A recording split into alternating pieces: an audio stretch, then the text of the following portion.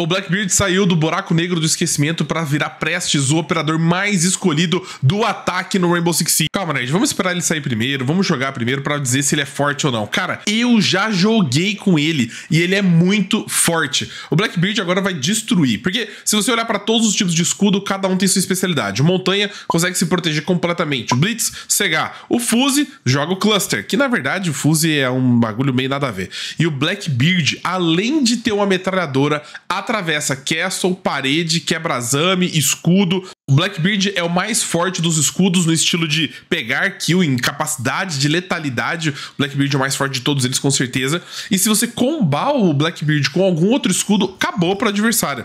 Se você colocar um Blitz junto com o Blackbeard, o Blitz cega, o Blackbeard metralha. Ou coloca uma montanha para dar cover, ele fica abrindo e fechando o escudo na frente do Blackbeard, o Blackbeard fica dando strafe de um lado pro outro, destrói também. E eu já vou te dar o loadout meta para usar em todas as armas do Blackbeard, ok? Primeiro você vai colocar cabo angular. Ah, nerd, mas e o controle de recuo? Esquece, vai treinar o controle de recuo com a SCAR ou com a DMR, que é muito fácil, aliás. Porque com o cabo angular você recarrega mais rápido, isso é importante. Porque quando você recarregar com o Blackbeard, você abre o escudo 100%. Então você quer um recarregamento rápido. E com o laser, você puxa a mira mais rápido. E a puxada de mira tá um pouco lenta, tá demorando um pouco. Todos os operadores vão vencer o Blackbeard na puxada de mira. Então, para mitigar um pouco isso, para facilitar para você, traga o laser. Ah, nerd, mas o laser spota, você fica marcando pixel. Mas você vai marcar pixel com o Blackbeard? Convenhamos que você vai estar tá sempre com a arma para cima, porque você vai estar tá com o escudo puxado, certo? E você só vai puxar a arma para atirar. Então, não importa se você vai estar tá com laser ativado ou não. Mas vamos parar um minuto. Mesmo que você jogue com o Blackbeard, do mesmo jeito que você joga com Montanha, com Blitz ou com Fuse de escudo, com Blackbeard você tem mais vantagem. Porque se você jogar recuado, avançando com escudo, gente atrás de você, com drone, só para dar cal, aquela coisa assim, né, de empurrar o adversário, quando ficar uma situação difícil, você tem uma metralha na mão. Você não vai ficar com a pistolinha chata que o Montanha, que o Blitz, que o Fuse precisam utilizar, e é horrível matar de pistola. Você vai ter uma metralha na mão. E é uma das melhores metralhas do jogo, tá? A Scar tem um dano altíssimo e a SR-25, acho que é o nome da DMR dele, também tem um dano ridiculamente alto. Então o Blackbeard vai ter armas muito fortes e além disso, granada.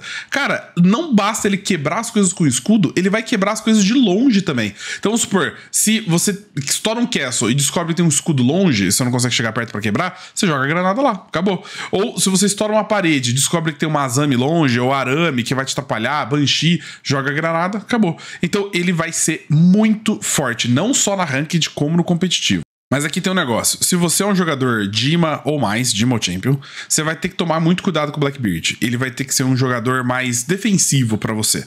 Porque todo mundo nesse rank atira na cabeça. Agora, se você é cobre, bronze, prata, ouro, platina, esmeralda, Blackbeard vai ser excelente para você. Porque todo mundo começa atirando no corpo, todo mundo mira agachado. E daí, olha só que incrível. Você vai ter um operador cujo corpo inteiro tá protegido e só a cabeça desprotegida pra você dar bala. É vantagem em cima de todos os outros operadores, que tá tudo exposto. Corpo e cabeça tá exposto. Aqui no Blackbeard é só cabeça. Ou seja, você só vai morrer se você pinar e o cara subir o recuo e pegar na tua cabeça, ou se o cara for a lenda mesmo e já estiver marcando a sua cabeça. Mas vamos para a pergunta que não quer calar. Nerd, a gente realmente precisava de mais um escudo? A Ubisoft tem problema de lançar mais um escudo, um operador sem criatividade nenhuma, tudo mais tal? Olha, eu vou te dizer que a parte da criatividade, você tem um ponto. É, realmente tá difícil, né, desenvolver novos jogadores, novos operadores com gadgets interessantes. E o Blackbeard precisava de um rework, né? E daí, assim, do ponto de vista criativo, tá bom, ok, eu aceito. Não é a melhor coisa do mundo, nem a pior. Agora, precisávamos de mais um escudo? Precisava de um operador roubado como o Blackbeard?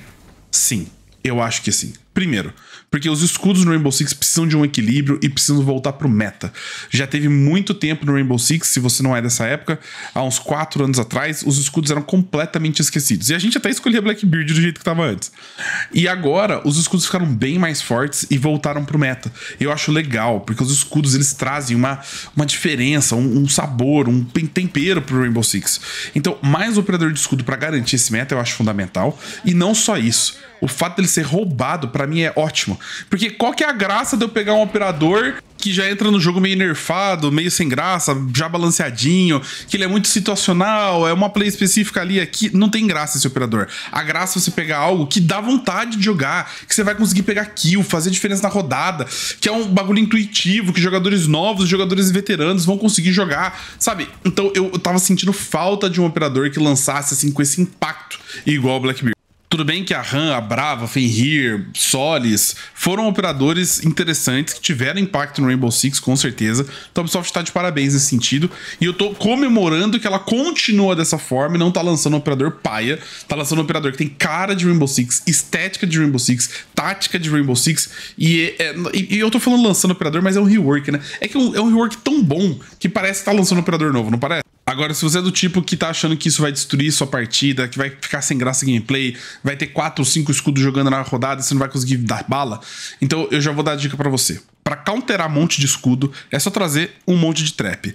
Capcan, Lesion, Fenrir, Frost atrapalham muito os escudos e eles sempre vão cair nesses gadgets. E outras coisas que dão atraso, né? Por exemplo, Banshee, Arune, que não deixa o cara simplesmente sair rushando. Escudo tem uma falha muito grande em ter letalidade rápida. É só você marcar o cara, cedo ou tarde você vai conseguir. E óbvio, se você tá com meta de escudo, usa meta de Oryx, de Clash, né? Não vamos parar também de usar os nossos operadores roubados que vão counterar esses caras, né? Tá, mas não foi só o Blackbeard que ressuscitou, o Saints também vai voltar com uma certa força. Igual o Blackbeard? Não. Se você é cobre, bronze, prata, ouro, talvez não faça muita diferença na atuação do, do. Eu acho que isso vai fazer mais diferença nos caras que são Esmeralda, Dima, Champions e no competitivo. Mas qual que é a grande mudança? Primeiro, não dá para enxergar mais através da parede do Saints. Ninguém enxerga mais, nem Warden, nem Glass. Então parou a sinergia com Glass, mas também parou o counter do Warden, do Evil Eye. Isso é muito positivo, porque agora o Saints de fato virou um operador útil. Mais útil do que a Smoke, entendeu? Agora ele é mais poderoso que o Smoke padrão. E além disso, ele pode ligar e desligar o gadget, ou seja, ele pode pré-posicionar todos os sens dele, ligar para avançar, fazer um plant, alguma coisa assim, desligar para os amigos poderem dar algum cover, ligar de novo para confundir a defesa. Então, essa maleabilidade, essa mudança de mecânica no sens deixa ele mais difícil de utilizar, mas muito mais é, funcional, muito mais utilizável, porque agora ele é mais poderoso do que uma smoke que você pode ligar e desligar ao seu bel prazer da, da forma que você quiser fazer sua estratégia. Então eu diria que essa temporada tá trazendo um operador novo, que é o Blackbeard. Convenhamos, Blackbeard é um operador novo, né? Ninguém discorda disso, porque apesar de ser um operador que tá adicionado no jogo há décadas, o cara ninguém usava. Então é a mesma coisa que um operador novo, certo? E o Sense, que é o rework. Então eu tô satisfeito. Obrigado, galera, que participou do vídeo. Obrigado, galera, que me apoiou na viagem de Montreal. Foi muito legal. Eu vou estar em live assim que você assistir esse vídeo. À tarde eu já vou estar em live, tá? Eu tô abrindo live todo dia, uma, duas da tarde, ainda tem umas seis da tarde. Então vai ser um prazer ter você na live com a gente, batendo papo sobre os operadores, vendo a gente jogar os operadores, testando TTS, esse tipo de coisa. Então, muito obrigado pelo carinho. Com o Sonar Dinheiro, a gente se vê, claro, sempre no Rainbow Six. Fui.